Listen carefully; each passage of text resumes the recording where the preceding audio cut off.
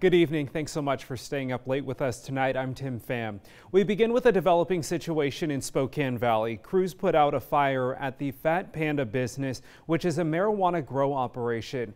Thick, heavy black smoke could be seen coming from the second floor of the building when firefighters arrived. We asked if any plants caught fire, and a spokesperson for the fire department could not confirm if they were affected. We do know, however, authorities evacuated 80 of the operation's employees and cut off the building's gas lines. At this hour, investigators have not said what caused the fire. Fat Panda is located near the intersection of Trent and Argonne. No traffic in that area was affected. To weather now, it was a little cloudy today, but meteorologist Michelle Boss says the weather is shaping up nicely for the last day of the Spokane Interstate Fair tomorrow.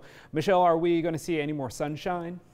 Yeah, we're going to see a little bit more sunshine tomorrow. It was kind of a gray day today, though. Most folks stay dry here in the Spokane and Coeur d'Alene area. As we take a look at satellite and radar, we are seeing a persistent area of showers generally north of Spokane. Kind of zooming into that area. It runs from about Grand Coulee, Nespelem to Inchelium, Colville, and up to Ione. We're seeing rainfall amounts of the last 12 hours of anywhere from just a couple of hundredths to as much as about a tenth of an inch.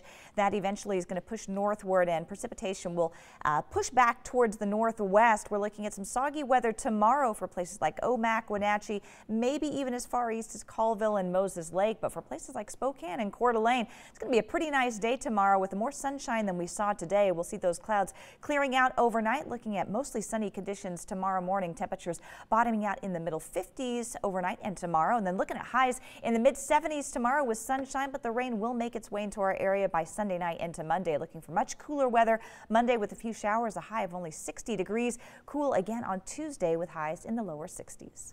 Michelle, thank you. Now to a developing story out of Seattle. Police released new surveillance footage that shows a suspect running from the scene of a shooting inside the Westlake station last night. You can see him running up the stairs with a gun in his hand. One person was killed and two others are in the hospital. One of the victims is in critical condition. Well, the search is on tonight for that person in the video. Here's what we know about the shooting. It happened around 9:30 last night. Witnesses say they saw the suspect pull a gun and began firing. Detectives do not believe the shooting was random, and as you can imagine, it was a chaotic scene as those gunshots rang out. And as I get down into the tunnel, um, on the bottom escalators, there's a guy sitting there bleeding out from his leg. Um, and I was like, "Are you okay, bro?" And he's like, "No, don't go down there. There's a shooter." Um, I tried. To, he had already tourniqueted it, it up, um, and I saw that there were cops down there, so I ran down there, told them that there was another victim up here because I don't think they knew. And then like 30 cops with assault rifles came running up the stairs, and it was crazy. Well, in the video, the shooter is wearing a dark hoodie. Police, though, have not released an official description of the suspect. New tonight, a Western Washington high school is mourning the loss of a student whose body was found in the Green River near Auburn earlier this week. 16-year-old Juan Carlos Cone Guzman was a student at Mount Rainier High School. The King County Sheriff's Office is investigating his death as a homicide. Cone Guzman died of blunt and sharp force trauma. According to the King County Medical Examiner, no arrests have been made struggled at times at school, but we were always there and he fought back really hard and he was just a great young man and well liked across our campus. So the teen's father reported him missing early Tuesday morning. Several hours later, the King County Sheriff's Office Marine Unit and major crimes detectives responded to the Green River where the teen was found. His family has set up a GoFundMe page to help with funeral expenses. You can find that info on KREM.com.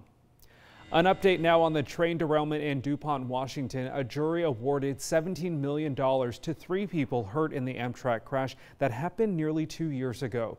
The train crashed during its inaugural run in December of 2017. Investigators determined it was going too fast around a curve when it crashed, killing three people and injuring more than 50 others. There are still 32 more lawsuits pending against Amtrak in federal court. Well, volunteers flooded High Bridge Park this morning for the Spokane River cleanup. This is actually the 16th year hundreds of volunteers helped pick up trash along the river. In tonight's Inland Northwest story, KREM 2's Brandon Jones tells us how people in our community are making a difference. So they are seriously dedicated out here. I just followed a group down some of the hills and through the brushes and bushes and all of that kind of stuff, but they're getting it taken care of. I mean, they've collected so much trash already and they're not done yet. Volunteers for the 16th annual Spokane River Cleanup were with all of the nitty gritty work. Hundreds of people met up at Highbridge Park for the yearly event and dedicated their morning to the environment, snagging any trash they could find. You have to look into the shrubbery to find all the good stuff. Oh, okay, yeah, okay. not Good just on the heads path. You've got to go off of the path. Okay. Many of the participants have been helping with the cleanup for years. Others are new to it, but the overall goal was to collect four whole tons of trash. And with a goal like that, you've got to get it by any means necessary, even if that means getting into the river for the harder objects to collect. Things like tires, rusted metal, and glass bottles were found all over the place, and a good effort was put into separating recyclables from the trash. This is a great opportunity to come out and get involved with the community in hands-on, constructive things that, that really uh, make a difference. So we're out here uh, supporting this effort. Plenty of students were on the scene getting volunteer hours while having a good time. With each piece of trash picked up, the potential harm to surrounding wildlife decreases, and places like Highbridge Park get a much deserved break from pollution. In Spokane, I'm Brandon Jones, KREM 2 News. Brandon, thank you.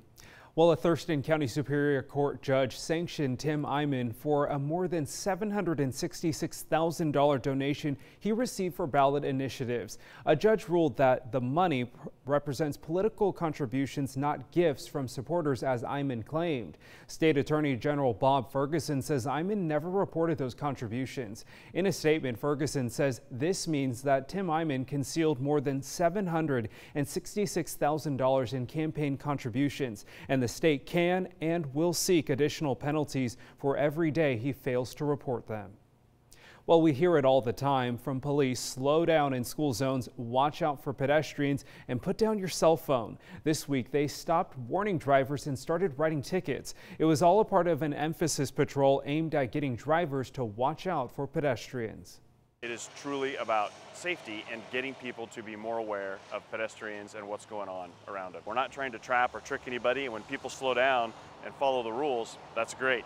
But as you'll see, as you sit here for a little while, even with all the, the police activity and with all the media activity, a lot of people are not paying attention. Pretty informative there. Well, officers and a few state troopers watched Sergeant Griffin cross 29th Avenue, as you see here, which is this area is near Rosauers.